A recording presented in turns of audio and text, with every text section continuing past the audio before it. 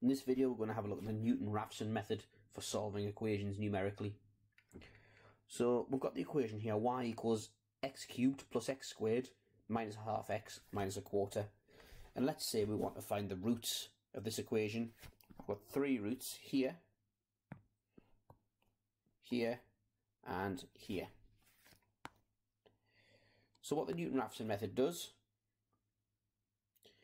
it takes a start point on the curve and then draws a tangent at that point.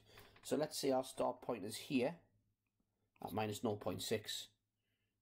Then at that point we draw a tangent and we take note of where it hits the x-axis. So our initial guess of what the solution is was here So let's call that x0. Then we draw a tangent and where it hits the axis, that's our next guess, x1. So zoom right in there. So now at x1, what we're going to do, we're going to again go onto the curve and draw a tangent. So drawing a tangent at that point. There we go roughly speaking, I'll do a better tangent than that.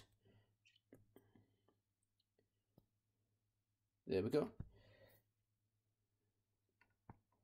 And we can see that our new guess, x2, where the tangent hits the axis, is even closer to the root. Zoom right in, draw a tangent again, and we can see that we're getting forever closer to the root. So draw a tangent, where it crosses the axis is our new guess, draw tangent, where it mm-hmm. crosses the axis is our new guess, and if the Newton-Raphson method works, we'll get closer and closer to this root here by continually drawing tangents. So I'm going to do, I'm going to rub those out now. That's the basic theory behind the algorithm. What we're going to do now is look at how we're actually going to do this method numerically. So let's take our start guess.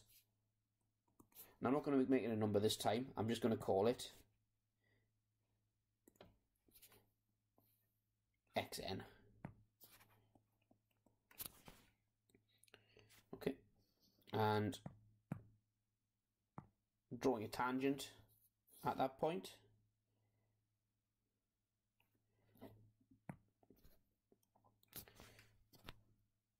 And this is x of n plus 1.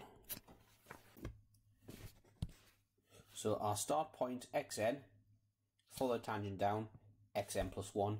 So let's look at how to mathematically get x of n plus 1. So let's think about first of all the, the equation of the tangent. Well, we've got a point on the curve xn and f of xn, where in this case f of x was our equation. There it is there. f of x equals x cubed plus x squared minus a half x minus quarter.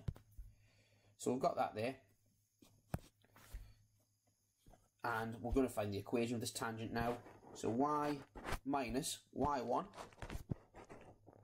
the y value is f of xn, equals the gradient. We know the gradient, if we differentiate the curve at that point, equals m x minus the x coordinate, which is xn. And we can see that the point xn plus 1 is where the curve, where the tangent crosses the x-axis. So we can see here xn, the tangent crosses the x-axis. Therefore, crosses the x-axis when y equals 0. So we let y equal 0. We get 0 minus f of xn equals f dash xn. And now the x coordinate we know is x of n plus 1. Take xn. And we're trying to find out what this x of n plus 1 is. So we're going to rearrange the equation. to make x of n plus 1 the subject. Right, so the next step, if we divide everything by f dash xn, so this means that minus f xn over f dash xn equals x n plus 1 minus xn which then implies so taking the xn to the side we'll finally get xn plus 1 equals xn take f of xn over f dash of xn and what that is that's the Newton-Raphson method that's given in your formula booklet so what we've just done there we've derived from first principles the Newton-Raphson method. So whilst you don't need to know the Newton-Raphson method off by heart, what you do need to be able to do is use it from the formula book and potentially, just like what I've done here, it's perfectly plausible that they might in an exam ask you to derive it like we just have here.